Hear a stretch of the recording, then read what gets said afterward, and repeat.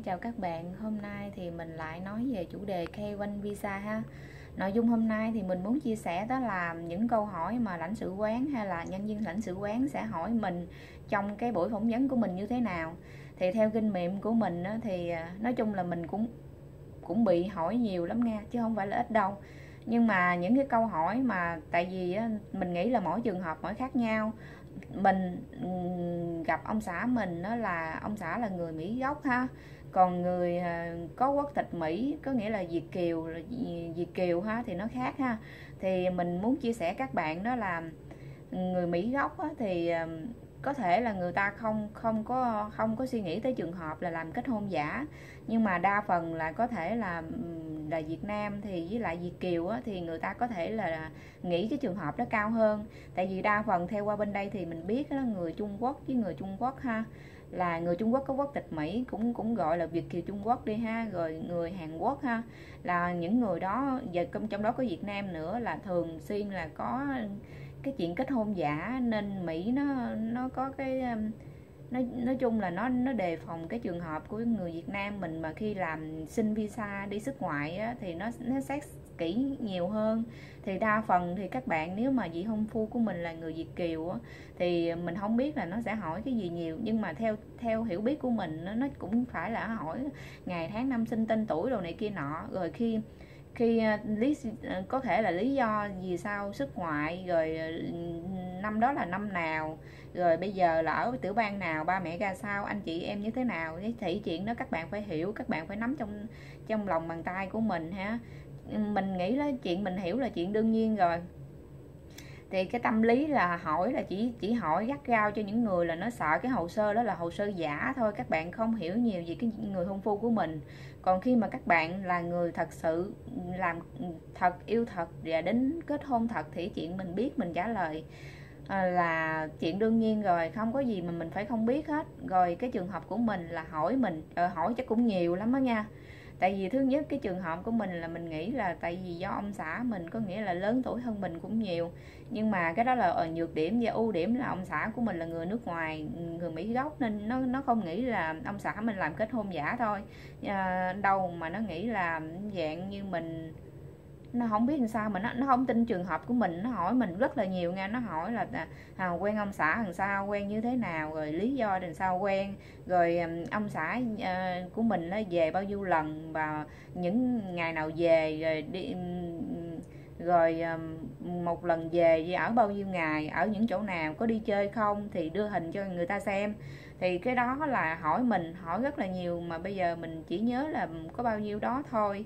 Rồi khi mình trả lời á, thì nói chung là có những cái mà là mình đã chia sẻ rồi là do khi mà ông xã là khi làm mở hồ sơ bên Mỹ đó ông xã phải làm bản tường trình về cái việc mà mà hai người mà quen nhau thế, như thế nào, đó có những câu hỏi nó làm nó nghi ngờ mình thì nó sẽ hỏi nhiều. Cái lý do đó là mình bị hỏi nhiều là do như vậy.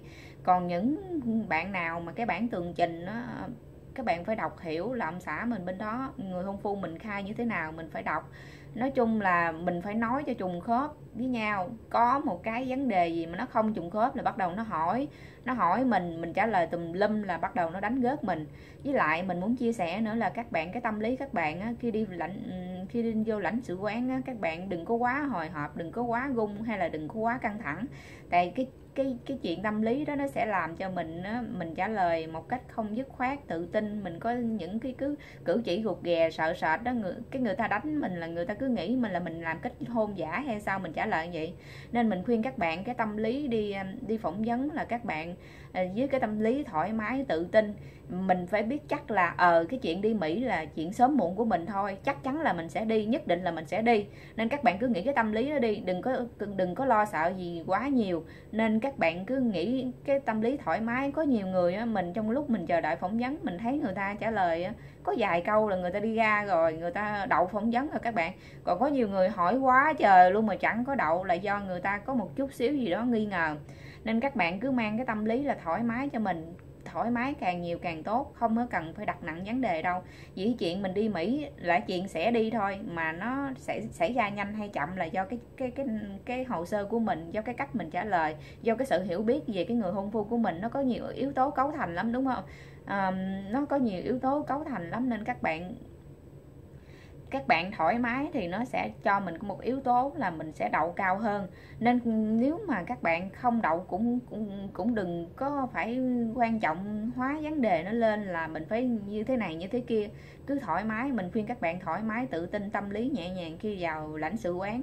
Rồi mình dạ, trả lời dứt khoát, giống như những cái gì mà mình đã khai trên cái hồ sơ của mình, giống như cái gì mà mình đã hiểu, biết, giống như cái gì mà mình đã tìm hiểu qua lại giữa mình và cái vị hôn phu. Thì cái chuyện đó là mình trả lời dứt khoát, tự tin, trả lời đâu ra đó, đàng hoàng, mạch lạc. Tại vì mình là người, mình lấy ông xã là người nước ngoài nên chuyện mình phải nói tiếng tiếng Anh lại chuyện người ta bắt mình phải phỏng vấn bằng tiếng Anh. Còn nhiều khi những câu hỏi nào mình không không hiểu thì mình phải dịch tiếng nhờ có có có người thông dịch cái bên người ta dịch cho mình. Còn nếu mà các bạn mà lấy Việt kiều thì đa phần khi mình nghĩ là trả lời bằng tiếng Việt. Tại vì nếu mà trường hợp của mình nó ủa, tại sao mình lấy, mình đi gặp ông xã người nước ngoài, người người Tây mà mình không nói tiếng Anh được là cái chuyện nó không đúng. Mình phải trả lời tiếng Anh, đó là mình kinh nghiệm mình là đi phỏng vấn bằng tiếng Anh. Còn các bạn mà gặp ông xã, vị hôn phu của mình là Việt kiều thì trả lời bằng tiếng Việt.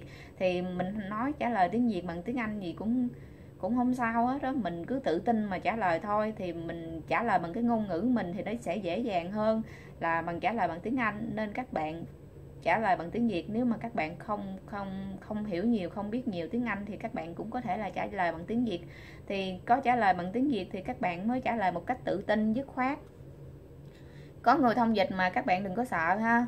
Thì đây là lời khuyên của mình. Ừ, tự tin ha tự tin, thoải mái ờ, tâm lý nhẹ nhàng, thì các bạn biết là ờ mình sẽ đi Mỹ, chắc chắn mình sẽ đi Mỹ, thoải mái lên, đừng có quá gung hay là đừng có quá lo sợ gì hết á. Lo sợ càng nhiều thì các bạn sẽ lộ cái vẻ là người ta nghĩ là các bạn có một vấn đề gì á, người ta không thì đương nhiên là mình hiểu là cái tâm lý đi phỏng vấn là các bạn lo sợ. Nhưng mà người ta người ta nghĩ là các bạn ờ cái trường hợp của này nó giả hay sao hay là nó có vấn đề gì đây mà nó nó trả lời mà nó gung gãy hay này kia nọ, đó là các bạn đừng có nên làm vậy. Nên đây là kinh nghiệm của mình mình muốn chia sẻ cho các bạn. Thì ờ, nếu mà các bạn muốn hỏi mình thêm gì á, thì các bạn cứ comment cho mình ở dưới ha. Thì ờ, mình sẽ chia sẻ cho các bạn tiếp là những gì mình biết ha. Rồi ok cảm ơn các bạn.